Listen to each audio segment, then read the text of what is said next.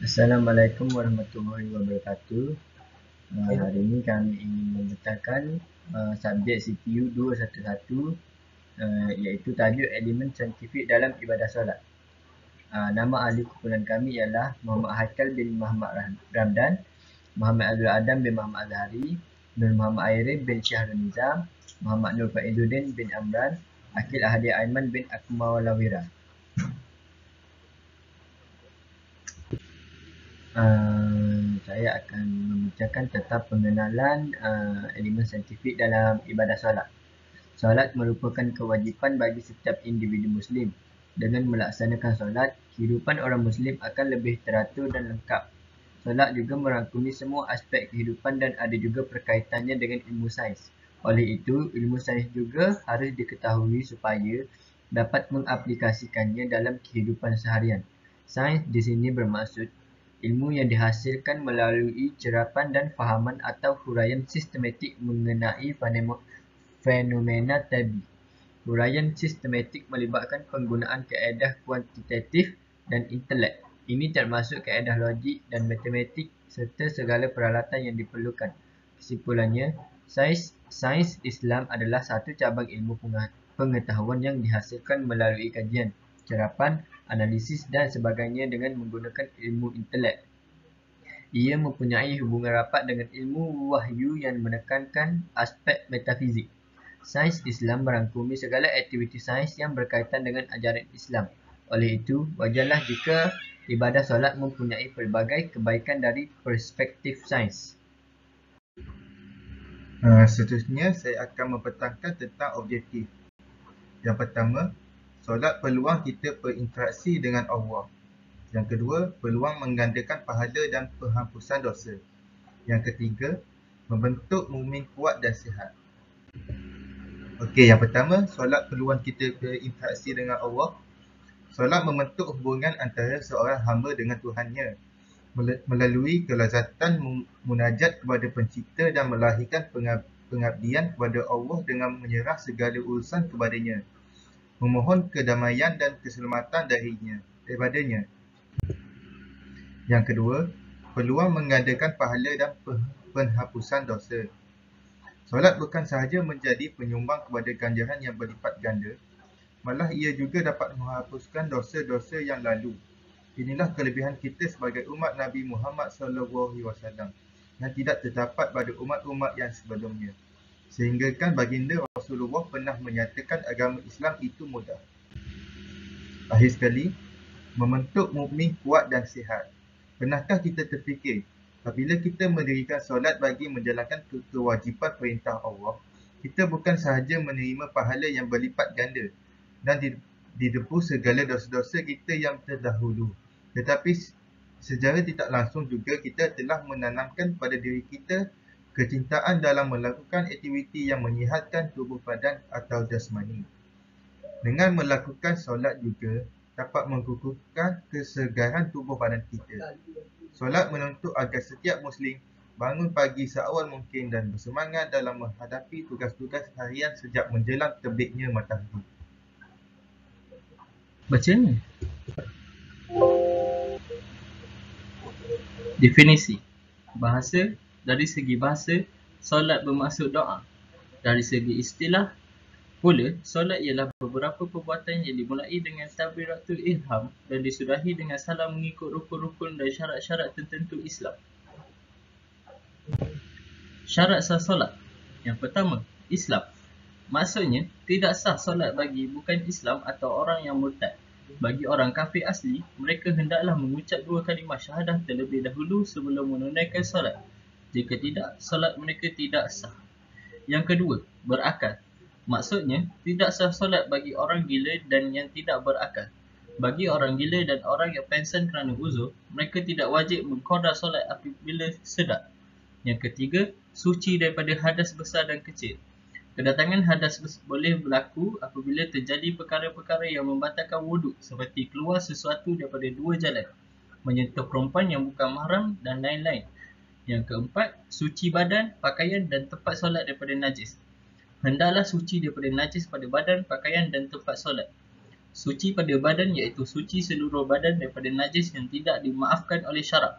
Yang kedua, suci pada pakaian iaitu suci pakaian daripada najis yang tidak dimaafkan oleh syarak. Yang keempat, menutup aurat. Syarat sah yang seterusnya ialah menutup aurat. Maksudnya, tanpa menutup aurat sebagaimana yang ditetapkan oleh hukum syarak, solat adalah dikira tidak sah. Yang keenam, masuk masuk waktu dengan yakin. Sebelum mendirikan solat, seseorang itu hendaklah mengetahui telah masuk waktu solat dengan yakin atau sekurang-kurangnya azan. Firman Allah Subhanahu taala, maka dirikanlah solat itu dengan sempurna sebagaimana biasa. Sesungguhnya solat itu adalah satu ketetapan yang diwajibkan atas orang yang beriman yang tertentu waktu. Yang ke yang ketujuh, menghadap kiblat dengan yakin. Para ulama bersepakat menghadap kiblat merupakan salah satu daripada syarat sah solat melainkan dalam keadaan-keadaan tertentu yang dimenangkan seperti solat ketika dalam peperangan dan solat sunat dalam keadaan bermusafir. Firman Allah, dan dari mana sahaja kamu keluar untuk mengerjakan solat, maka hadapkanlah mukamu ke arah Masjid Al-Haram, Kaabah. Dan di mana sahaja kamu berada, maka hadapkanlah muka kamu ke arahnya. Akhir sekali, mengetahui cara solat.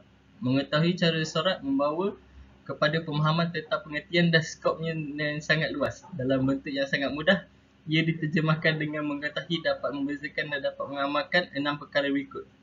Syarat wajib, syarat sah, rukun solat dan syarat setiap rukun, perkara sunat, perkara makruh, perkara yang membatalkan solat. Uh, seterusnya, rukun solat. Niat, berdiri dengan betul, takbiratul ihram, membaca surah Al-Fatihah, rukuk, iktidal, sujud. Duduk antara dua sujud, duduk tahiyat akhir, selawat kepada Nabi dalam tahiyat akhir, salam tertib. Okey, seterusnya, sembilan orang solatnya tidak diterima oleh Allah SWT. Yang pertama, orang lelaki yang solat sendirian tanpa membaca sesuatu, Seterusnya, orang lelaki yang mengerjakan solat tetapi tidak mengeluarkan zakat. Orang, uh, seterusnya, orang lelaki yang menjadi imam padahal orang yang menjadi makmum membencinya. Orang lelaki yang melarikan diri. Orang lelaki yang minum arak tanpa mahu meninggalkannya iaitu taubat. Orang perempuan yang suaminya marah kepadanya.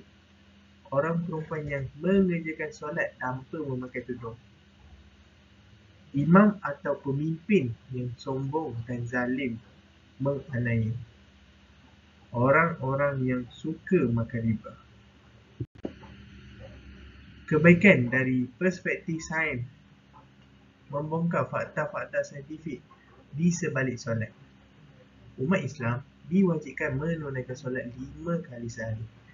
Mereka juga digalakkan melaksanakan beberapa sembahyang sunat dalam kehidupan harian penekanan terhadap ibadat solat dari segi rohaniah banyak diperkatakan, banyak diperkatakan dalam Al-Quran dan hadis.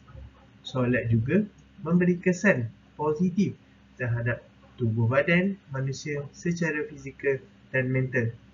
Kajian saintifik yang telah dijalankan mengesahkan hal ini. Seterusnya, hikmah ibadah solat. Menerusi ibadah solat, ia mengajar kita supaya bijak menguruskan masa. Sebarang kecualian, sebarang kecuaian akan memberikan kesan buruk kepada catatan amalan kita. Selain itu, mendirikan solat juga memberi makna kita berusaha untuk menjadi mukmin yang berpegang kepada amanah dan menepati janji kepada Allah Subhanahu Wa Taala.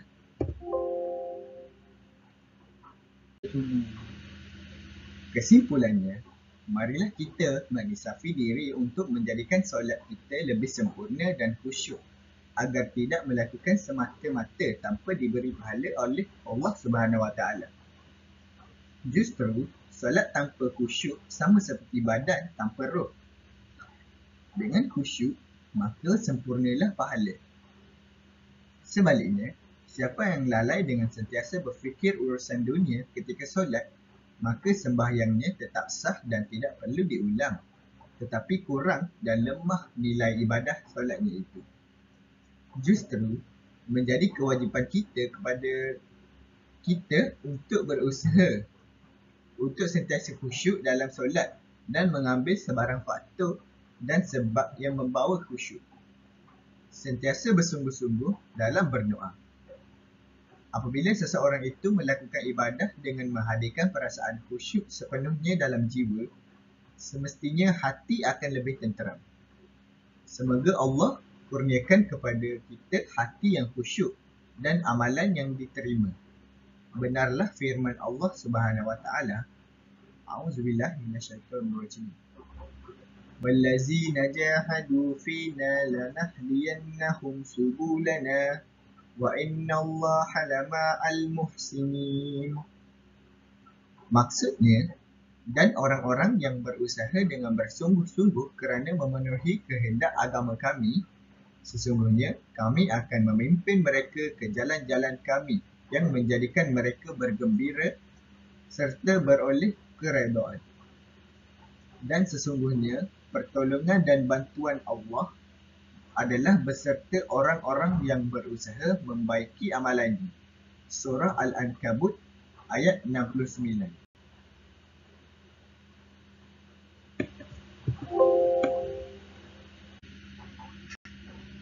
Itu saja dari kami.